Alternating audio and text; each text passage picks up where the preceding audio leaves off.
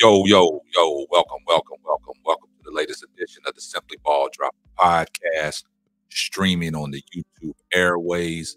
I'm your host and the man behind the mic, K Sap. And today, man, we got a serious show lined up for you guys. But when you come across the video, make sure you like, comment, subscribe.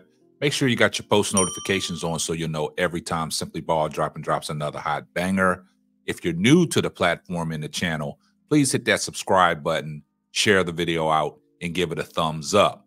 I see everybody in the comments section. Hashtag salute. And you know what my mantra is tell a friend to tell a friend. It might not be for you, but it might be for them. Well, let's get right off into it, man. We got to take this one all the way up to Boulder, Colorado. Uh, there's some breaking news out of Boulder, Colorado. Um, we know the season that the Colorado Buffaloes had, and we know the exceptional play that quarterback Shedeur Sanders has played throughout the year. But we also know that he was the most sacked quarterback in college football. Now there's reports out there now that he sustained an injury in that Oregon State game. If you recall in the post-game press conference after that loss, Deion Sanders took to the podium and he addressed the podium because the the media was asking questions about, you know, Shedeur because he was hobbled, limping around. And Deion said that, yeah, Shedeur took a cortisone shot, you know, at halftime just to sustain some of the the hurt and the pain. But now the reports come out because if you notice the last game of the season against Utah, Shedeur Sanders did not take the field. He set out that game. Now there's reports out there stating that he has a fractured in his back that he literally, like Mike Tyson said, I broke my back. But um, this is that's serious. Um, you know, Deion Sanders Jr., he runs their well-off media. He covers a lot of things that Colorado Buffaloes was doing throughout the course of the season, posting videos, giving us insight and you know, giving us video footage of their practices, on campus things, guys in the meetings, the training room, um, lifting weights and things like that, reporting everything, on field stuff through the course of the game, posting on his social media site. Um, there was a video that's now surfacing with Deion Sanders Jr. Um, that they recorded yesterday, and Shedeur Sanders was on that video. Um, I don't have the video clip, um, but there's reports out there on the AP that there's an article out there and I just want to read to you from the AP on what that article has stated. Um, take a listen to this.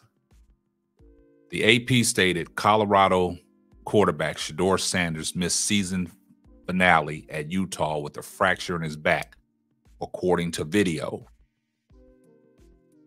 Boulder, Colorado AP Colorado quarterback Shedeur Sanders missed the season finale at Utah on Saturday due to a fracture in his back, according to a YouTube video posted by Well Off Media, like I stated, that's ran by, you know, Deion Sanders Jr. This site is run by one of the um, one of Coach Deion Sanders' children and has been tracking the Buffaloes with behind-the-scenes footage throughout the season.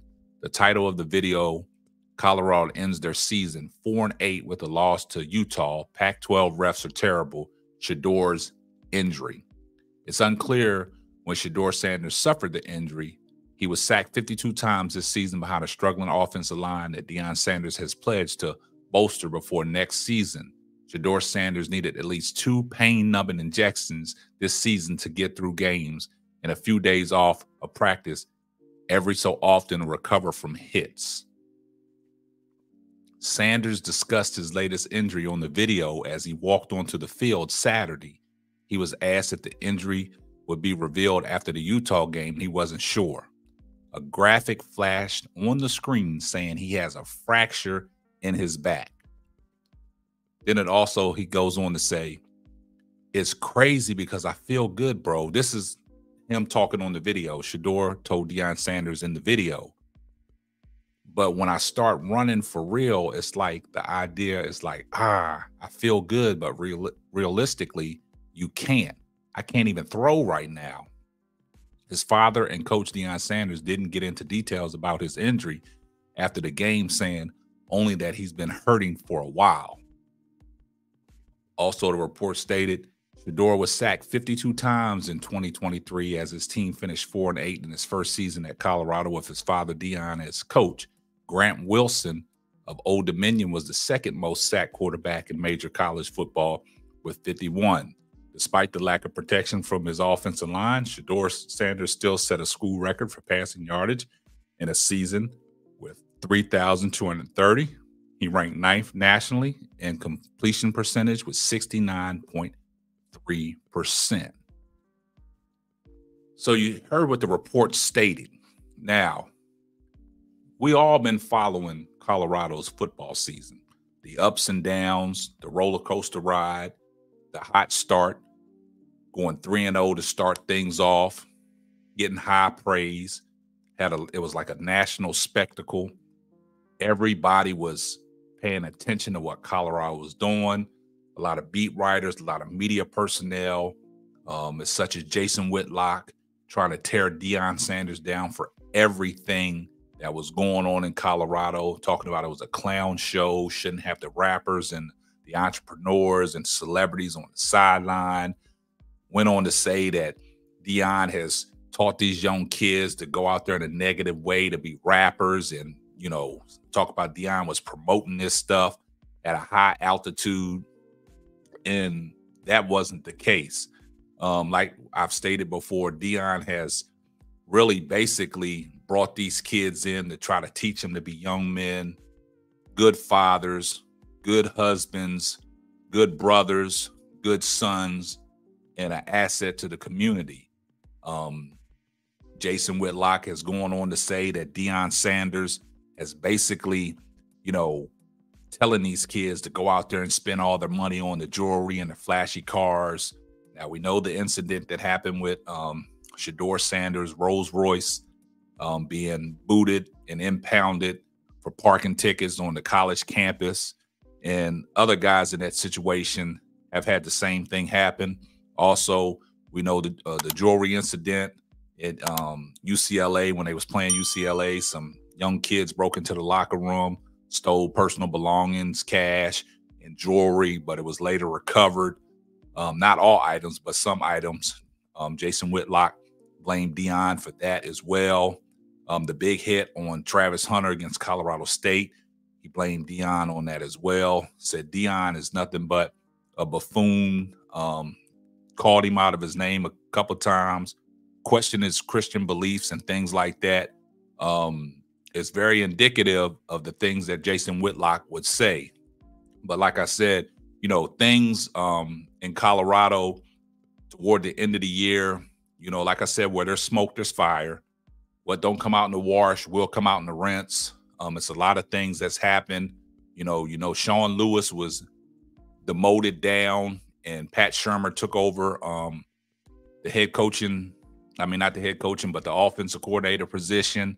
Now there's reports out of there that Sean Lewis is going to San Diego State as a new head coach.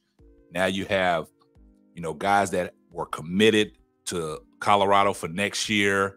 They're decommitting. I think there's been three or four guys that decommitted you know, five star quarterback, um, also linemen, um, and things of that nature.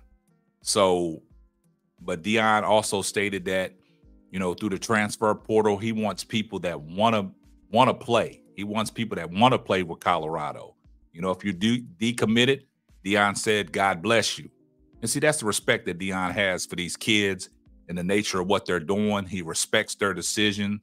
Um, if the guys don't want to play, Deion don't want them. He wants people that want to come to Colorado to play and build something special. Um, it's unfortunate that Shedeur Sanders took a beating the way he did, but we embraced it throughout the whole college, you know, football season. We endured a lot from Colorado. I mean, it was a hot story coming in when Deion took over the program in December of 2022. You know, his famous famous slogan, um, we coming, we coming. And, you know, thing they're here now. You know what I'm saying? But like I said, got off to a hot start. Things kind of, you know, fizzled down. Like I said, the hot start 3 0, finished the season off 4 and 8, still last in the Pac 12, but he got something to build on. Um, but he just want guys that are committed to playing and playing the right way, and you know, conveying his message to these young guys that hey, you got to believe, you got to believe, and that's all it takes is some belief and some people to give, you know, that utmost respect and that confidence to play at a high level. But it's unfortunate that you know Shedeur Sanders took a beating the way he did. Hopefully, the young guy recovers and comes back even stronger um, because it it could be a fun ride next year. Um, it started off high, but it like it kind of fizzled out. But they're on the right path. Um, a lot of people don't think Deion can, you know, get the, get Colorado to where they need to be, but he showed glimpse. He showed glimpse. But you guys, let me know what y'all think down in the comment section. Um, keep giving the video a thumbs up. Keep sharing these videos out. Keep supporting the channel. Um, keep posting your comments. Um, this is going to wrap up another episode of the Simply Ball Dropping Podcast. I'm your host and the man behind the mic, K Sap. We're going to catch you on the next one. Deuces. Thanks for listening to the Simply Ball Dropping Podcast. Be sure to subscribe, like, and share on all major platforms. Another one.